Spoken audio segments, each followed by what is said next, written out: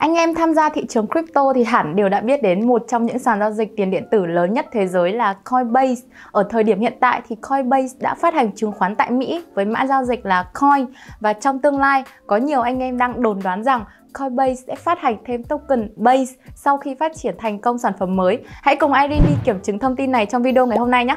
Và anh em đừng quên like, share và subscribe cho Coi68TV. Ok, cùng bắt đầu thôi.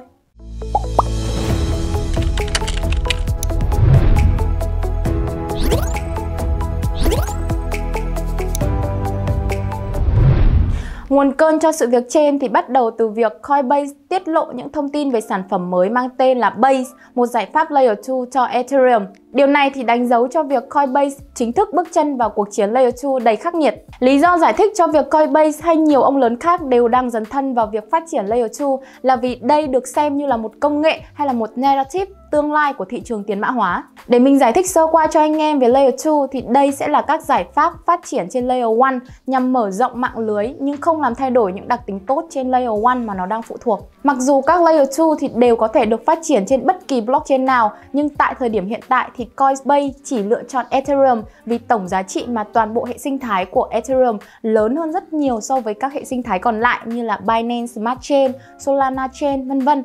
Đây sẽ là hệ sinh thái thu hút được số lượng người dùng lớn, sự quan tâm của các nhà đầu tư cũng như là sự quan tâm nói chung của thị trường. Và bây giờ thì chúng ta hãy cùng xem thử xem là Layer 2 của Coinbase thì sẽ có gì nhé.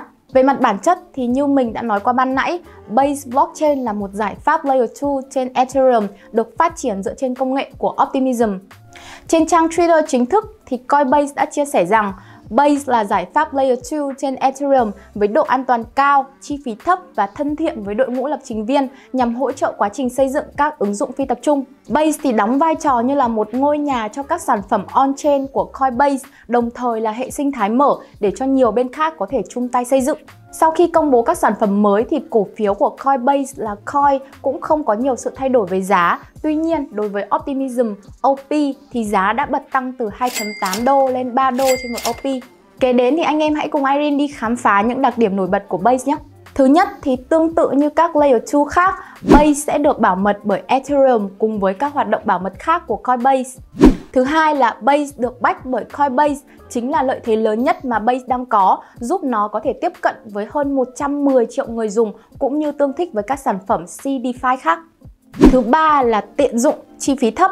Base thì sẽ hoạt động tương tự như các Optimism Layer 2 khác. Chúng tương thích hoàn toàn với EVM, cho phép các developer có thể dễ dàng xây dựng sản phẩm, thu hút người dùng và tận dụng cơ sở hạ tầng vững chắc từ Base. Thứ tư là Base sở hữu các tính năng lớn với chi phí nhỏ. Base thì sẽ cung cấp đầy đủ các tính năng tương đương EVM với một phần nhỏ chi phí và cam kết thúc đẩy nền tảng dành cho các nhà phát triển. Thứ năm là một mã nguồn mở. Base thì hướng đến tính phi tập trung, không cần cấp phép và mở cho bất kỳ ai có tầm nhìn là tạo ra một super chain bất khả chi theo module tiêu chuẩn thì được cung cấp bởi Optimism. Base thì cũng chia sẻ thêm rằng đang hợp tác cùng với Optimism với tư cách là nhà phát triển cốt lõi ở trên OP Stack và đang không ngừng phát triển để tạo ra một cộng đồng Layer 2 vững mạnh cho các nhà phát triển khác. Kế đến thì chúng ta hãy cùng tìm hiểu tổng quan về hệ sinh thái của Base. Tầm nhìn của Base là trở thành một hệ sinh thái mở rộng, chính xác hơn là một super chain, trong đó các dự án, người dùng và tài sản của Coinbase thì sẽ là bệ phóng cho các sản phẩm tiềm năng ra đời. Là một trong những sàn giao dịch có tiềm lực mạnh nhất ở trên thị trường crypto hiện tại thì Coinbase đã liên kết với rất nhiều dự án giúp cho Base mở rộng hệ sinh thái của mình. Sau đây thì Irene sẽ list ra một số dự án nổi bật như sau. Thứ nhất là Dune Analytics, một công cụ phân tích blockchain cho phép người dùng truy cập dữ liệu chuỗi khối để phân tích và trực quan hóa. Thứ hai là AAVE, một giao thức tài chính phi tập trung cho phép người dùng cho vay và vay crypto. Tiếp theo chúng ta có thể kể đến như là Etherscan, một công cụ khám phá blockchain cho phép người dùng xem lại các giao dịch, địa chỉ hay là thông tin block chuỗi khối ở trên mạng Ethereum hay là Magic Eden, một thị trường NFT uh, ờ, cho phép người dùng mua, bán hay là quản lý NFT. Không thể không kể đến Chainlink, một mạng lưới đa chuỗi cho phép tích hợp dữ liệu cryptocurrency và các ứng dụng phi tập trung hay là dự án Pit Network, một dự án làm với Oracle dùng để tạo ra một thị trường dữ liệu trong DeFi có độ trung thực cao từ các nhà giao dịch hay là các sàn giao dịch chuyên nghiệp lớn nhất ở trên thế giới với bất kỳ smart contract nào. Coi 68 TV thì đã có khá khá video phân tích về các dự án quan trọng này cho nên là anh em có thể xem lại ở trong một số đường link mà Irene sẽ gắn ở trên màn hình cho anh em nhé. Ngoài ra thì còn rất nhiều dự án lớn khác như là The Graph, Sushi Swap, Rainbow Wallet, Gelato, Pit Network vân vân. Cho đến thời điểm hiện tại thì đã có ít nhất hơn 50 dự án thông báo xây dựng và nền tảng này. Trong tương lai thì sẽ không ngạc nhiên nếu như là Base có thể thu hút thêm nhiều dự án DeFi đầu ngành khác như là Uniswap, OpenSea hay là Curve. Đây sẽ là những yếu tố then chốt giúp cho Base thu hút được dòng tiền lớn từ thị trường.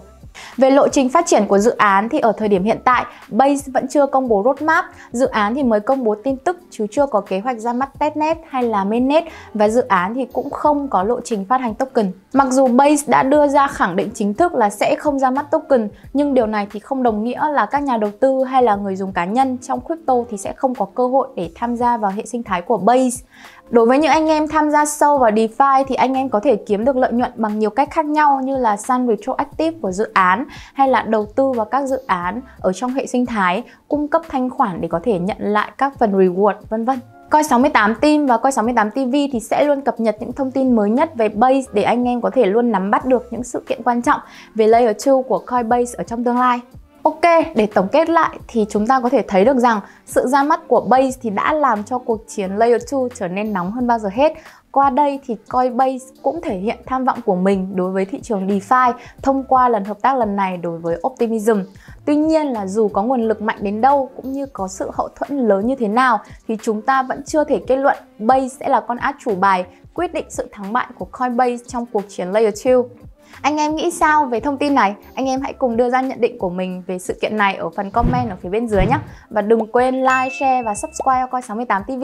Mình là Irene và hẹn gặp anh em trong những video sau. Bye!